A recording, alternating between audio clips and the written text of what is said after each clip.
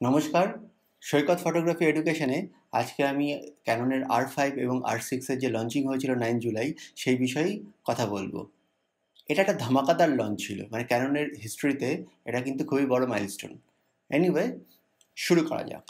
Ninth July live ইভেন্টে Canon যখন R five এবং আর সিক্স লঞ্চ করতে শুরু করে, তো আমি ওটা দেখতে দেখতে ভীষণই উত্তেজিত হয়ে যাই। এবং উত্তেজনাটা এই পর্যায়ে পৌঁছে যায় যে আমার যে এক্সপ্রেশনটা ছিল ঠিক এরকম।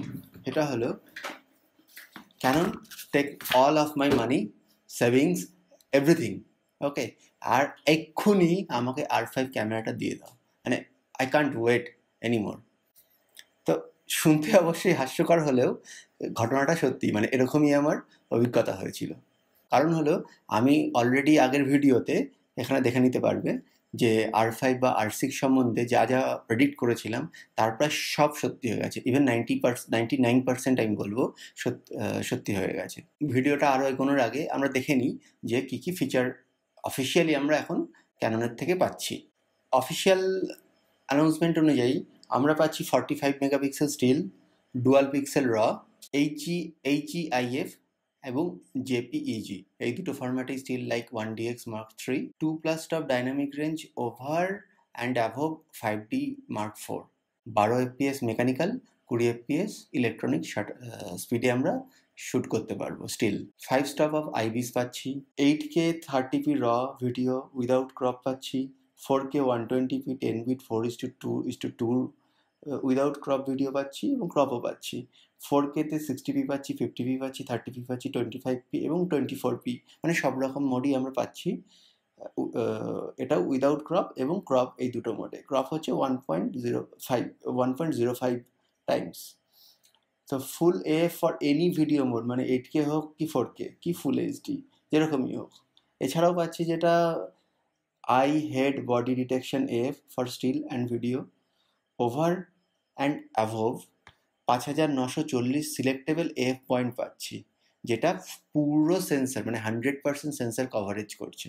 So incredible dual card slot পাচ্ছি, যেখানে একটা হচ্ছে সিএফ এক্সপ্রেস কার্ড আর একটা হচ্ছে HDSC type two type one compatible অবশ্যই বাট টাইপ টু অবশ্যই লাগানো ইউজ করা উচিত আমাদের। এনিওয়ে আর হচ্ছে robust and full weather sealing body পাচ্ছি ফুললি আর্টিকুলেটেড স্ক্রিন পাচ্ছি আইওসো অসাধারণ একটা আইওসো পাচ্ছি। High megapixel camera forty five মেগাপিক্সেলের ক্যামেরা হওয়া সত্ত্বেও আমরা স্টিলের ক্ষেত্রে একশো থেকে একান্ন হাজার দুশো যেটা এক্সটেন্ড করা যাবে নিচের দিকে, অর্থাৎ লো ফিফটি আর হাই হাইয়ে এক লাখ দু হাজার চারশো অবধি পাবো। মুভির ক্ষেত্রে সেটা একটু কম, যেমন একশো থেকে পঁচিশ হাজার ছশো অবধি পাবো। এক্সটেন্ডেবল টু একান্ন হাজার দুশো বাট ন প্রয়োজন নেই। আর র এবং এসডিআর পিকিউ মুভির ক্ষেত্রে একশো থেকে পঁচিশ হাজার ছশো অবধি পাবো। আবার ক্যানন লগ মুভির ক্ষেত্রে পাবো হচ্ছে আইএসও চারশো থেকে পঁচিশ হাজার ছশো ক্যানন লগ যদি আমাদের ইউজ করতে হয়, তবে বেস আইএসও হতে চলেছে চারশো। অর্থাৎ ভিডিওগ্রাফারদের জন্য এটা ওয়ার্নিং যে ক্যানন লগে তোমরা যদি শ্যুট করতে চাও, তাহলে অবশ্যই এনডি ফিল্টার ক্যারি করতে হবে। মানে এনডি ফিল্টার কিন্তু মাস্ট কারণ চারশো আইএসও দিলে ইন জেনারেল কন্ডিশন আমাদের এফ স্টক কিন্তু অনেক বেড়ে যাবে।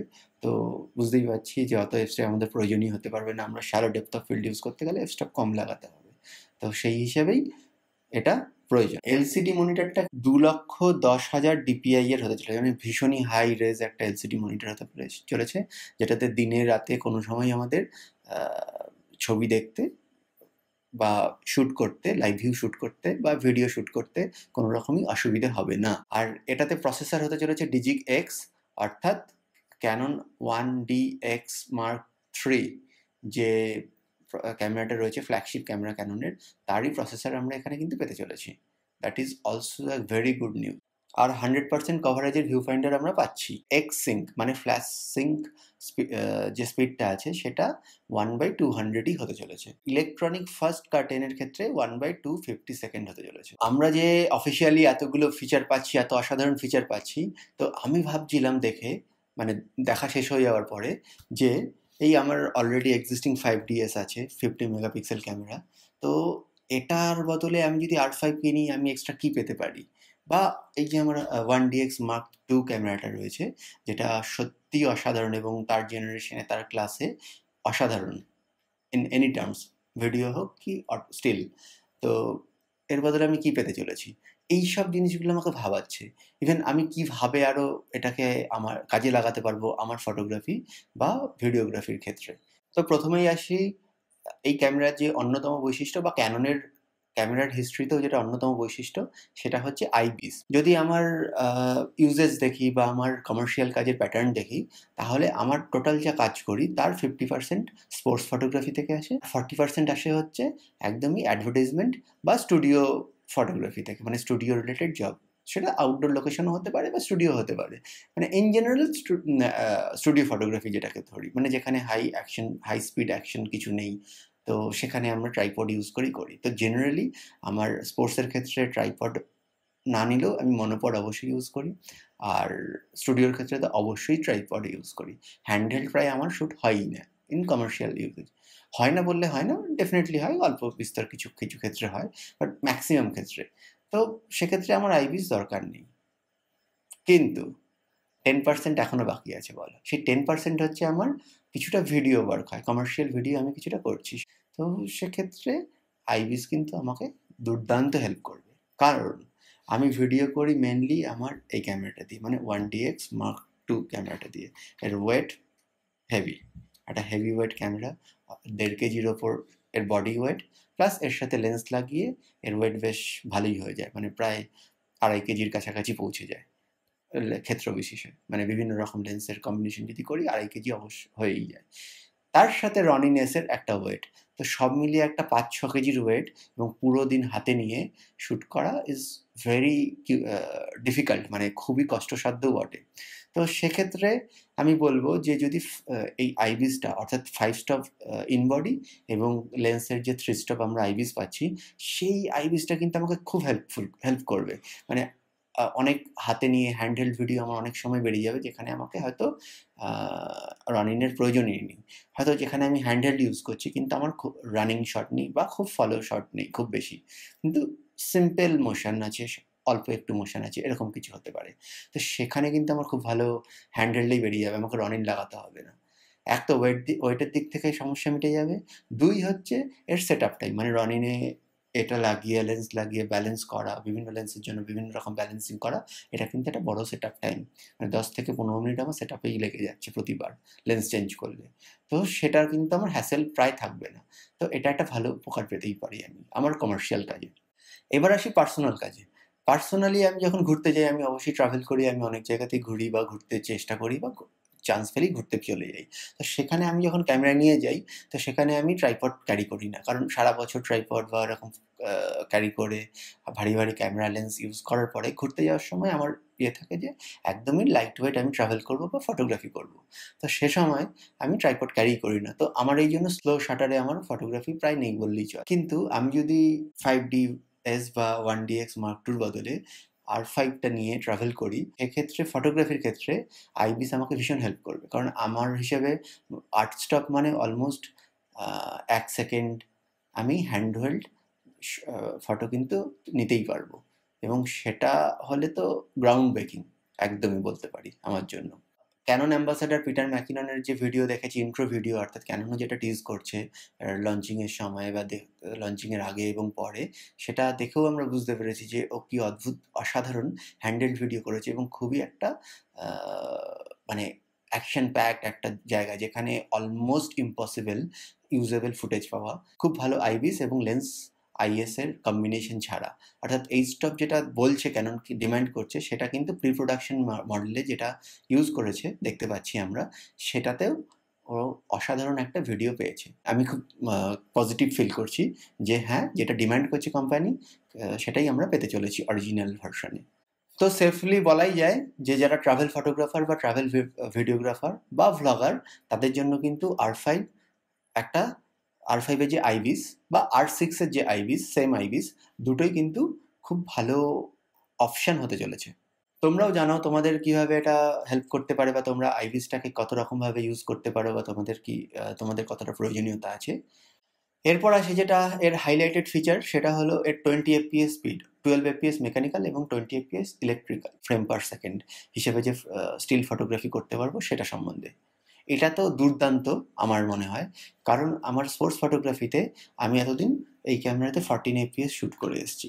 আর আমার একটা সেভেন্টি মার্ক টু আছে যেটা আমি এর আগেও ফর্টিন টেন এফপিএসে শ্যুট করতাম। তো আমি যখন সেভেন্টি মার্ক টুর বদলে এটা ইউজ করতে শুরু করলাম, তখন আমি বুঝতে পারলাম এই চারটে যে ফ্রেম এক্সট্রা আমি পার সেকেন্ডে পাচ্ছি, তাতে কতটা ডিফারেন্স হচ্ছে। তো এটা যখন টোয়েন্টি এফপিএসে আমি শ্যুট করতে পারব, আমি বুঝতেই পারছি মানে আমি এখনই ফিল করতে পারছি যে কত বেশি ছবি, এগুলো পারফেক্ট ছবি আমি পেতে পারি স্পোর্টস বা অ্যাকশন ফটোগ্রাফির ক্ষেত্রে। This is a good for me similarly যারা ওয়াইল্ড লাইফ ফটোগ্রাফি করছেন তাদের জন্য কিন্তু এই টোয়েন্টি এফপিএস এক্সেলেন্ট হতে চলেছে। অনেক বেশি পরিমাণ শট অবশ্যই কিপার হিসেবে থেকে যাবে।